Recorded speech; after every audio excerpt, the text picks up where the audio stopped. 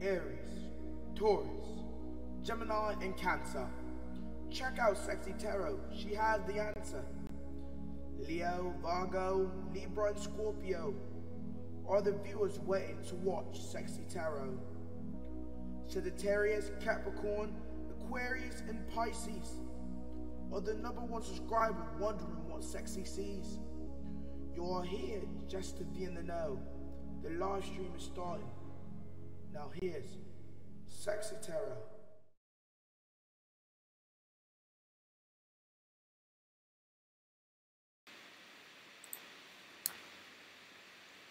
Hello, Pisces, and welcome to Cexxi Tarot.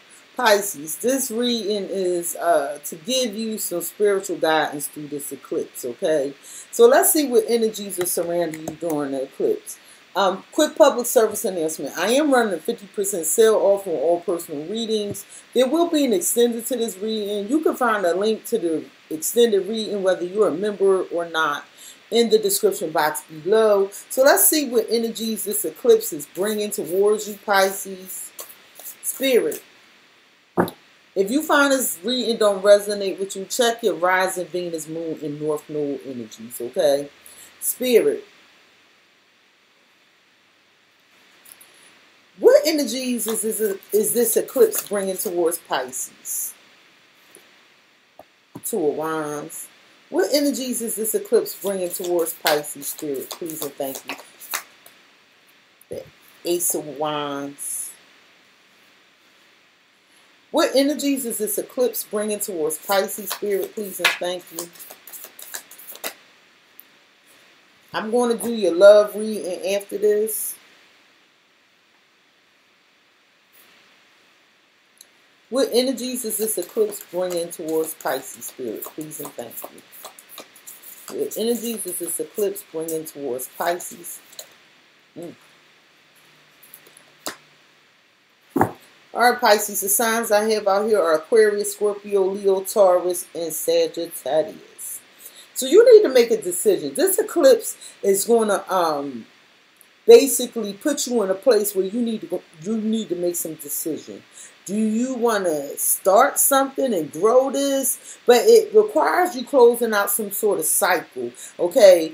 And and it's like the cycle you have to close out is in relation to a marriage, a commitment, or some sort of stability.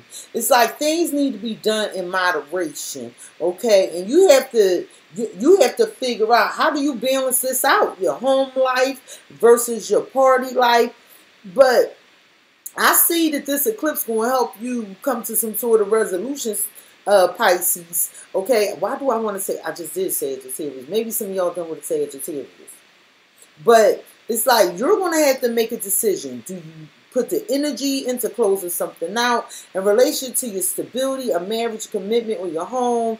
And if you do that, how do you do it in an amicable fashion? At the bottom of the deck, Pisces, the reading for this reading is the Queen of Swords, the Queen of Swords. Some of you done with a Libra, but this involves you having um to be fair. This has to be fair. Okay, so there's going to be a truthful conversation about some fairness and might and involve might involve cutting something out. So with the Seven of Swords and Judgment, some of you done with Scorpio. Um, I feel like um, there somebody there's an opportunity. Like somebody looking at this opportunity like it is treachery.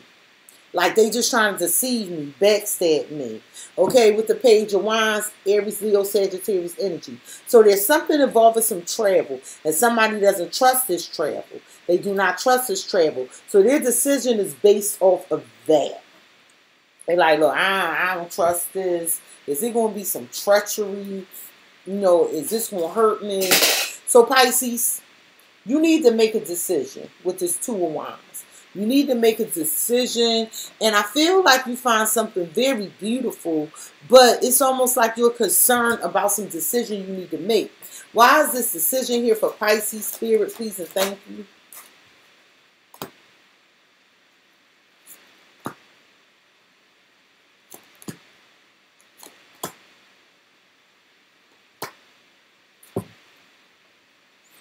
Bottom of the deck, you have dried flower fairy, sweet memories, and you have sea beacon fairy guidance. But where will it lead you? So I feel like you're having a conversation about this decision. Something happened in the past, and whatever this past is, you might be guiding someone, or someone could be guiding you. It could be involving three people with the three witchy sisters, the power of three.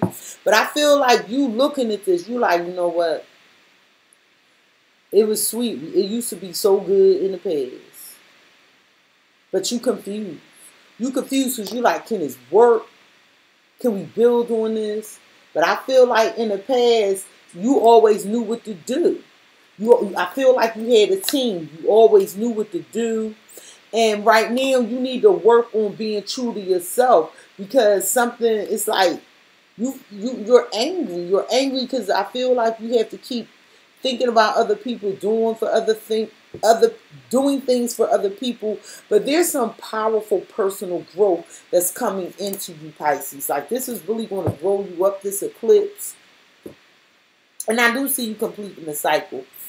So Pisces, you got to make a decision about the Lantern theory. You like, look, I need a clear solution. I need somebody to tell me what to do. I need to know which way to go. So you're confused about which way to go. Spirit, what can you tell Pisces about making a decision on which way to go? Like they want a solution.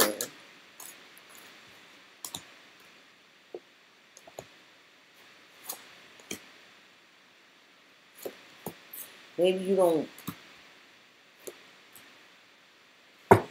You might be fighting against some transformation. You have expulsion and death. Some of you dealing with a Scorpio. So it's like you don't, it's like mm, fortify. It's like you don't want something to end. You don't want something to end. It's like there's a transformation here, but you don't want this transformation. You don't want it. It's like you're trying to you're trying to fortify it. You're trying to rebuild it. You know, instead of letting the transformation happen. But if you let this transformation happen, it will be sweet. You will get sweet results if you allow this transformation. You'll be able to let go of things that no longer serve you. You'll be able to, uh, some of you need to clear your space because it's affecting your breathing. But I feel like you know, when it comes to you letting go what no longer serves you and allowing you to relax, somebody is intruding, impeding upon something it is you're trying to do. Well, Pisces, I feel like you want a clear solution. You like, what's the purpose of this? Because you really don't want to do this with, with repel. It's like you keep trying to protect yourself. It's like somebody wants a solution or you need to make a decision to come to to come to some resolution. And you like well what's the purpose of this? Why is this happening? You know what? I just want this to go away. You're repelling something here Either you don't trust the intentions and you got to make a decision, or you trying to find a solution. Like, should I go towards this? Like, what's the purpose? Or maybe I should just protect myself. Why is purpose and repel here for Pisces? It can involve an Aries, Leo, Sagittarius energy.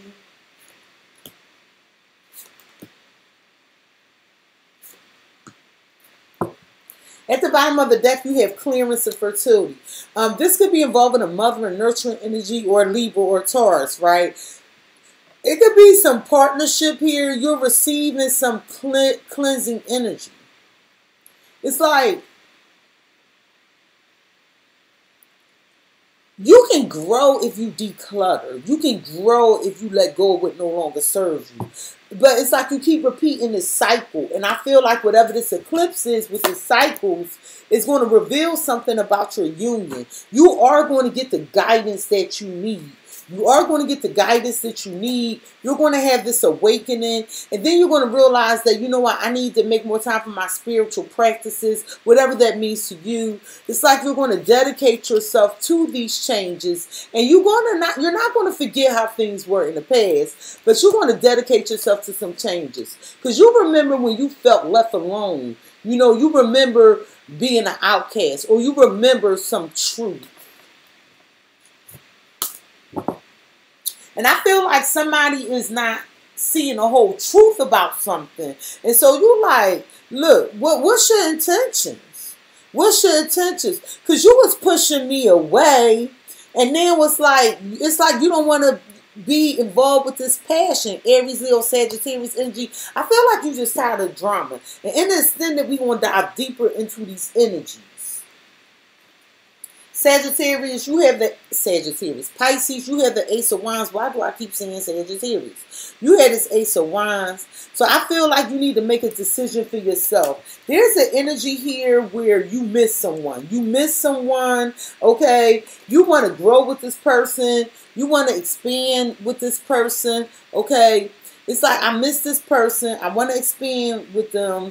And you want to manifest somebody. You want this person to come back, okay? And it's like you feel like things are closing in on you and you know you want to grow. You like i feel constricted. I want to grow. You know i want things to happen for me right? So you might be doing rituals or altar work at this time Pisces, you had the world, the world, Aquarius, Scorpio, Leo, Taurus energy. So there is completion of some sort of cycle during this eclipse. A wonderful idea, the aha moment. So I feel like once you close out some old ways of doing things, you declutter, you get rid of things that no longer serve you, you clean your space up, you clear out your mind, your body, okay, your spirituality. I feel like you're going to get an aha moment once you close this cycle out.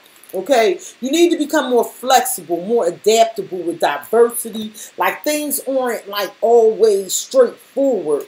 And with the shadow, the shadow. So it's like something here where you need to close out some things of like um it's something you're doing that's toxic. It's like I'm hearing practice what you preach I'm hearing um it's like your, your, your spirituality got to line up with what you're actually doing. Pisces, like like something's not fair here. And this truth needs to be talked about. Like you need to let somebody know, like, no, you finicky.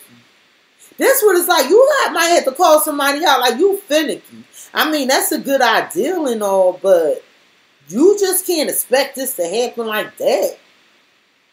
With the four wands, the four wands, this is involving some unity or coming together in some home, some marriage, or some commitment, right? And I am Kali, some y'all dealing with a Scorpio. It's a transformation happening here, happening here. That's death energy. It's like from death comes rebirth. So it's like there was some family home or some unity coming together that ended is somebody wants to bring it back to life with reconciliation and foundation. So this is like bringing together a family, a home, you know, rebuilding whatever this is. And in the extended, I'm going to dive deeper into these energies.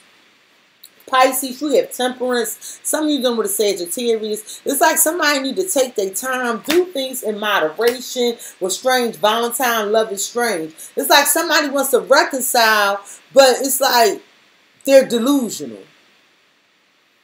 It's like I'm hearing like you you you can't be serious. Somebody like, all right, let, let's come together. Somebody act weird when they start drinking. And it's like somebody don't want to take responsibility over what happened in the past. Somebody needs to take responsibility over what happened in the past and why they left alone and why something's not coming together. Pisces, I feel like there's this passion and energy to make something happen, but it's like somebody's doing it from a dark space in relation to some home, some foundation, and or or some marriage or commitment. Somebody need to take accountability for what happened, and there needs to be a truthful conversation here and why as to why something has fell apart. Okay, and I really feel like this is family related. So Pisces in an extended, I'm going to dive deeper into these energies, and we're going to see what's really going on here. Peace, Pisces. I'll see you in the extended.